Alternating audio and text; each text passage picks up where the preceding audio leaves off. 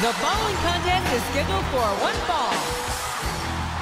On the way to the ring, from Victoria, Texas, weighing 252 pounds, Stone Cold Steve.